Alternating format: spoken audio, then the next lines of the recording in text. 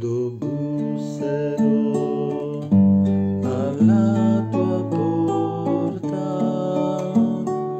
avrò fatto tanta strada.